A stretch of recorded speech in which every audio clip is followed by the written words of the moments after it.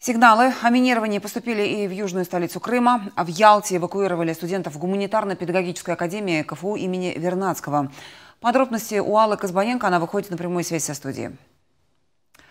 Алла, какая у вас обстановка?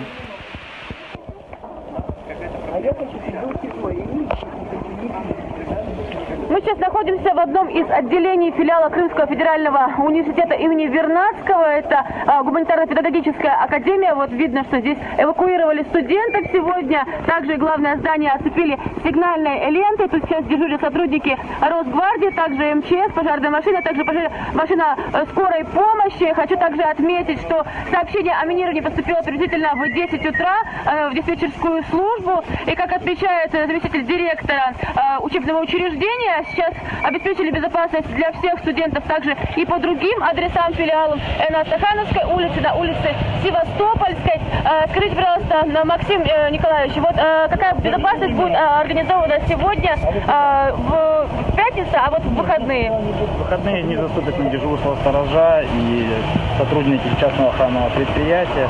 Поэтому еще раз проверить здание и до распоряжения силовых структур учебного процесса. Благодарю вас я хочу также отметить, что закрыт и медицинский колледж сегодня, также его эвакуировали оттуда студентов. Ну и такая ситуация сейчас происходит по всему Крыму. Поступают сообщения о минировании именно учебных, э, высших учебных э, заведений, также средних учебных заведений.